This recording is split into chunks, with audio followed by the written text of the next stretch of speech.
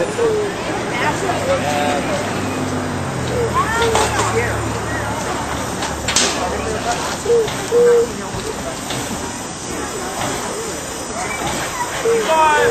1904, the city um, council approved $15,000 for the formation of, or for improvement of the fire department. At that time, the city council awarded contracts for two new fire stations, uh, one which is over here on J Street and another up on California and Wabash. And the cost of those two stations was $1,295. The council also approved the purchase of fire hose, hose carts, nozzles, uh, fire alarm system, and this steam fire apparatus.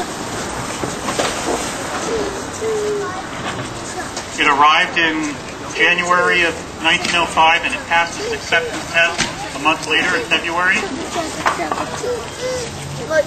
And it was in service pub- at its last fire at the Occidental Mill in 1935.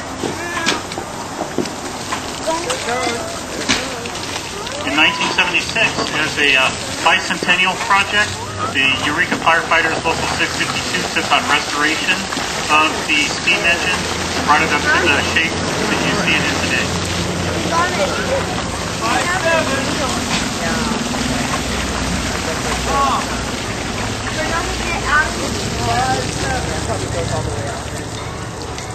Even in 1905, this fire engine cost $6,375 to purchase, which was um, quite a bit of money back then. It's interesting, the acceptance test that you talked about.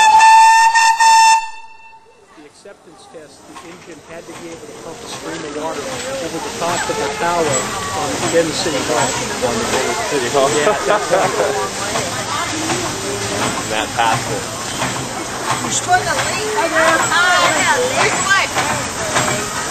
Inside, I think, that's probably just inside the door. You're coming in there. Okay, we'll see you.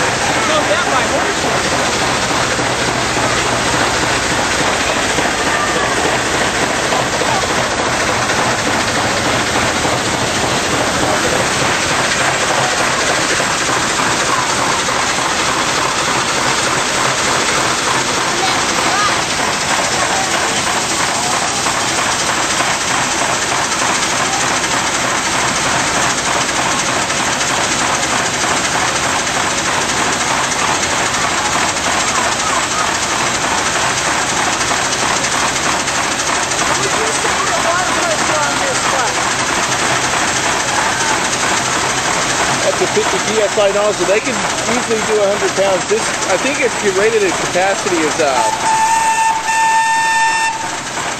Only think it can easily do what our modern day engines can do. They went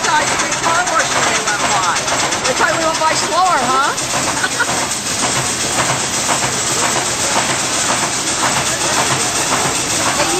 Considering all, it takes a lot of, a lot of pressure, huh? Well, I think that you just mentioned it's pretty much the same, almost the same what the modern ones are.